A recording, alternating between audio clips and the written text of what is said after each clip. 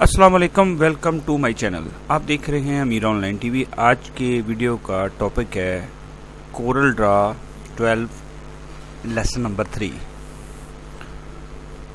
friends अगर आपने मेरे चैनल को अभी तक सब्सक्राइब नहीं किया तो उसे सब्सक्राइब कर लें। तो मेरे चैनल पर डिज़ाइनिंग के हवाले से बेशुमार वीडियोस अपलोड हो रहे हैं। तो अगर आप मेरे चैनल को सब्सक्राइब कर लेंगे तो मेरे तमाम वीडियोस आप तक पहुँच सकेंगे। तो शुरू करते हैं आज का वीडियो।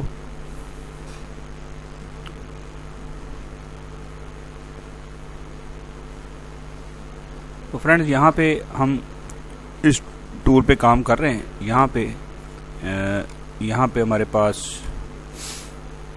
ये हम शेप टूल में काम कर रहे हैं और इसमें हम यहाँ तक पिछले लेसन में काम कर चुके हैं। इसके बाद हमारे पास फ्री ट्रांसफॉर्म टूल है तो सबसे पहले यहाँ पे मैं एक रेक्टेंगल अप्लाई करता हूँ। ये कलर फिल किया और यहाँ से मैं इसको कमांड को छोड़ देता हूँ।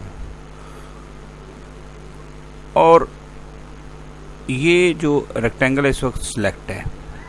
तो यहाँ से इसको मैं ओपन करता हूँ।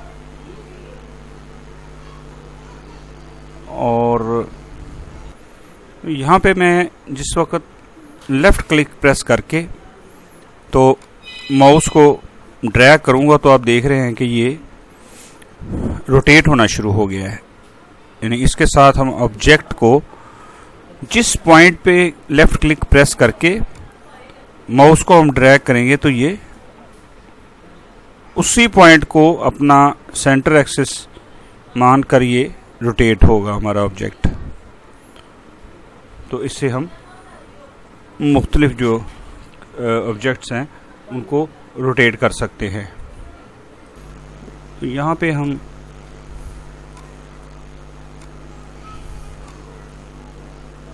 दो तीन जो है ऑब्जेक्ट यहाँ पे मैंने प्लेस किए हैं। जैसे यहाँ पे हमारे पास है, ये है, और यहाँ पे ये है। तो ये जो हमारे पास है नेक्स्ट टूल विचुअल सिगमेंट डिलीट इसके साथ आप किसी पॉइंट पे आके जब क्लिक करते हैं, ये देखिए अब यहाँ पे मैं क्लिक कर रहा हूँ, और अब मैं इसके कॉर्नर पे क्लिक किया तो आपने देखा कि वो इसने इसको इस पॉइंट से बाहर बाहर जो है वो काट दिया है। जबकि इसका कुछ हिस्सा, इसकी जो रेक्टेंगल है, उसका हिस्सा यहाँ पे मौजूद है। इसको मैं लेफ़्ट क्लिक किया तो ये डिलीट हो गया। इसी तरह हम मुख्तलिफ़ जो हैं ऑब्जेक्ट्स के पार्ट्स इस तरह से काट सकते हैं और उनको कंप्लीट भी डिलीट कर सकते हैं। यहाँ से इसको क्लियर इसके बाद हमारे पास यहाँ पे जूम टूल है।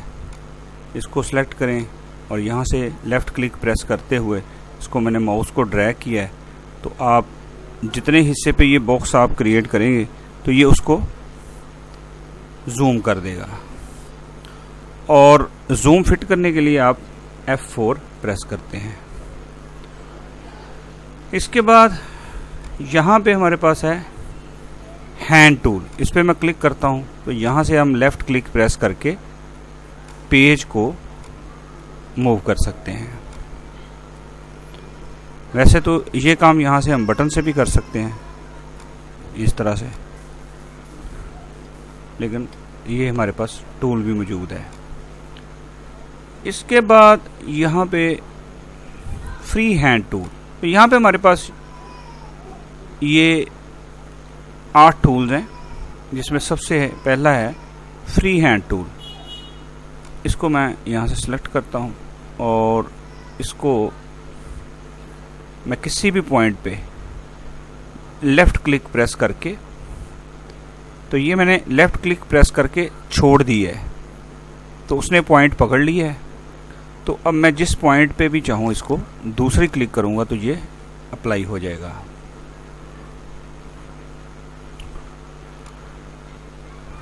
अगर मैं लेफ़्ट क्लिक प्रेस करके माउस को मूव करूँ तो कोई भी बाई हैंड शेप क्रिएट कर सकता हूँ। इसके बाद यहाँ पे हमारे पास है बिजियर टूल बिजियर टूल यहाँ पे हम आते हैं। तो यहाँ पे मैंने लेफ़्ट क्लिक प्रेस किया है। प्रेस करके छोड़ दिया और उसके बाद मैं यहाँ पे इस पॉइंट पे आके दोबारा मैंने लेफ़्ट क्लिक प्रेस किया है। तो इस तरह से हमारे पास एक लाइन क्रिएट हो गई है। अब ये फ़र्स्ट पॉइंट और ये सेकंड पॉइंट अब मैं ये यहाँ पे क्लिक करता हूँ। तो आप देख रहे हैं कि ये जो है लाइन यहाँ तक एक्सटेंड हो गई है। अगर मैं लेफ़्ट क्लिक प्रेस करते हुए उसको अभी मैंने छोड़ा नहीं है लेफ़्ट क्लिक को मैंने प्रेस रखा हुआ है और माउस को मैं मूव कर रहा हूँ तो आप देख रहे हैं कि ये इस तरह से शेप क्रिएट हो रही है। ये मैंने जो लेफ़्ट क्लिक है, उसको छोड़ दिया है। अब यहाँ से मैं नेक्स्ट फिर क्लिक किया तो ये आप देख रहे हैं कि यहाँ से उसने फिर पॉइंट पकड़ा और यहाँ से ये शेप क्रिएट करते हुए ये शेप क्रिएट कर ली। तो सॉरी तो इस तरह से हम इसके साथ मुख्तलिफ़ शेप्स जो हैं, वो क्रिएट कर सकते हैं।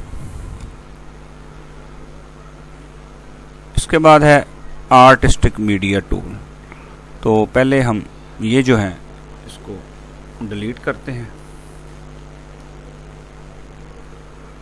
और इसके बाद हम नेक्स्ट टूल पे आते हैं।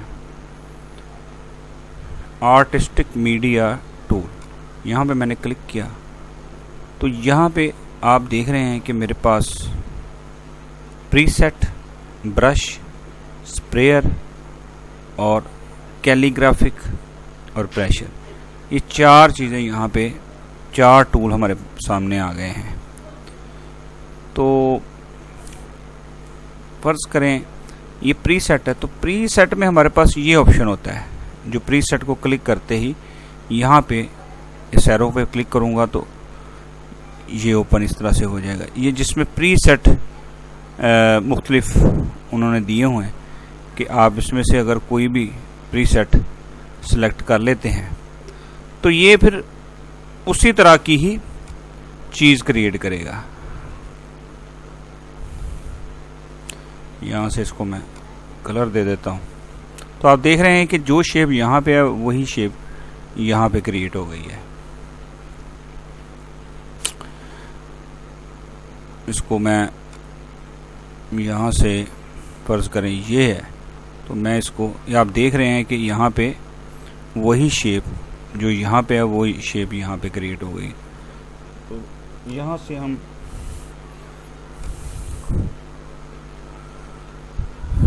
कोई भी चीज़ सेलेक्ट करेंगे तो वो उसके ऊपर अप्लाई हो जाएगी। तो इसके बाद यहाँ पे हमारे पास है ब्रश अब ब्रश में भी यहाँ पे उसने मुख्तलिफ़ ऑप्शन हमें दे दिए हैं। फ़र्ज़ करें ये एरो है। मैंने एरो को सिलेक्ट कर लिया। तो यहाँ से मैं जब इसको छोड़ूँगा तो ये वही शेप यहाँ पे क्रिएट कर देगा।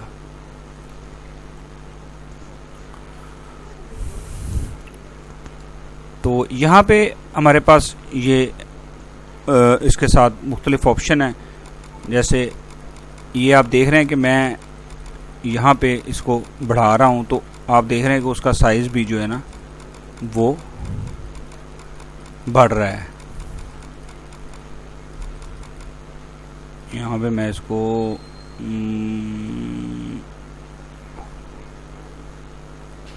ये देखें, यहाँ पे थर्टी पे कर दिया। तो इस तरह यहाँ से हम इसका साइज़ जो है, वो अपने रिक्वायरमेंट के हिसाब से एडजस्ट भी कर सकते हैं। बाकी अगर मैं इसको छोड़ूँ तो यहाँ पे आगे मैं इसको ये स्ट्रेच वगैरह यहाँ से तो कर सकता हूँ। ठीक है? यहाँ पे मैं अगर डबल क्लिक किया है मैंने, ये देखें, पहले अनसेलेक्ट किया, अब यहाँ पे मैंने क्लिक किया, ठीक है? अब दोबारा क्लिक करूँगा तो ये ऑप्शन ये हमें दे देगा ये रोटेट वाला, ठीक है? तो इस तरह से हम इसको रोटेट भी कर सकते हैं। तो यहाँ पे ग्राउंड पे क्लिक किया तो ये अनसेलेक्ट हो गया, ठीक है? तो इस तरह से हम इससे मुख्तलिफ़ शेप्स क्रिएट कर सकते हैं। तो यहाँ से मैं इसको दोबारा सेलेक्ट करता हूँ। तो इसमें इसी तरह से ये हमारे पास मुख्तलिफ़ शेप्स यहाँ पे, मुख्तलिफ़ डिज़ाइन स्टाइल्स पड़े हैं। जैसे ये है तो इसको मैं यहाँ से लेफ़्ट क्लिक प्रेस करके इस पॉइंट पे मैंने लेफ़्ट क्लिक को छोड़ा तो ये वही जो स्टाइल है, यहाँ पे अप्लाई हो गया, वही शेड अप्लाई हो गया कलर्स तो इसी तरह से अगर हम यहाँ पे आते हैं स्प्रेयर पे तो स्प्रेयर में यहाँ से मैं लेफ़्ट क्लिक प्रेस करके और यहाँ पे मैंने उसको छोड़ दिया है। तो आप देख रहे हैं कि यहाँ पे उसने ये स्टाइल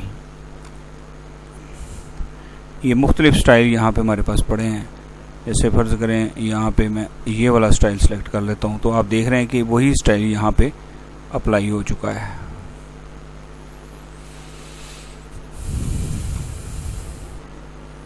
इस तरह से। इसी तरह यहाँ पे मैं आके मज़ीद अगर मैं इसमें ये कर देता हूँ तो उसमें ये वाला स्टाइल आ चुका है तो इसमें हमारे पास जो मुख्तलफ़ डिज़ाइंस जो हैं वो पहले से मौजूद हैं। तो हम जैसा भी अपने आ, किसी भी ऑब्जेक्ट पे अप्लाई करना चाहें तो वो यहाँ से हम कर सकते हैं। और इसके लिए हमारे पास यहाँ पे ये सेटिंग्स भी हैं इसी ऑब्जेक्ट के लिए।